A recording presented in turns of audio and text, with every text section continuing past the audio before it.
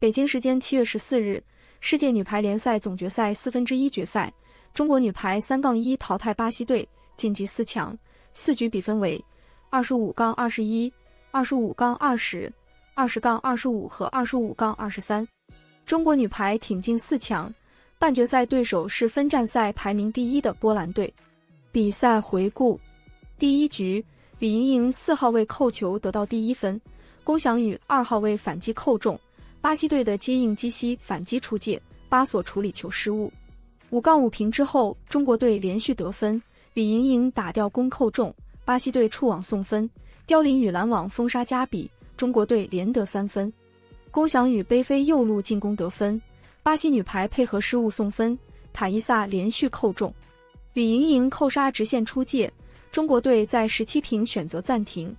李盈莹的发球轮，中国队连续得分，王媛媛反击扣中，王云露拦网得分，龚翔宇扣球失误丢分，巴西队的卡罗尔快攻得分，李盈莹扣杀斜线对角得手，中国女排二十五杠二十一拿下首局。第二局，加比扣球得分。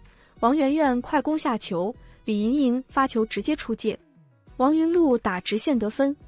巴西队反击塔伊萨扣中，李盈莹后排杀一个得分。王云露的发球连续建功，中国队八杠五打停对手。袁心玥发球出界，对手也发球失误，龚翔宇的扣杀得分。王云璐跟进直线扣杀命中，李盈莹和王云璐连续得分，中国女排领先六分。塔伊萨自接自扣命中，李盈莹的扣杀造成打手出界，基西进攻被王媛媛拦下得分。刁琳宇和龚翔宇之间的配合非常默契，中国队扩大优势。随着李盈后攻得分，中国女排二十五杠二十在下一城大比分二比零领先。第三局，中国女排七杠一完美开局，李盈莹、王媛媛连续得分，袁心玥拦网封杀，泰纳拉扣斜线失误出界。中国队一传接飞，泰纳拉发球下网，中国队的拦网出界，巴西队连续追分。龚翔宇和刁琳宇抢在一起之后失误，巴西队追成十一平。李盈莹扣杀终于得分，加比自接自扣得分，李盈莹连续得分。随后双方鏖战，中国女排在一度十七比十五领先的情况下，被对手打出一波流，瞬间十八比二十落后，蔡斌请求暂停。袁心玥快攻得分，泰纳拉后三扣中，巴西队一鼓作气，二十五杠二十扳回一城。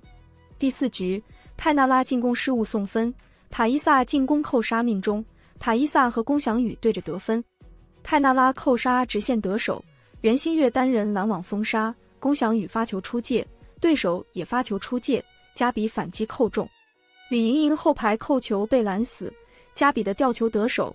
郑义兴尝试定点进攻得分，十八平之后，中国队选择暂停。塔伊萨的丁地扣杀得分，郑义兴扣球造成对方打成出界，龚翔宇扣中，中国女排二十五杠二十三拿下，大比分三杠一淘汰巴西队，晋级四强。双方首发阵容：中国女排主攻李盈莹、王云露，副攻袁心玥、王媛媛，接应龚翔宇，二传刁琳宇。巴西女排主攻加比、巴索，副攻塔伊萨、卡罗尔，接应基西，二传马克里斯。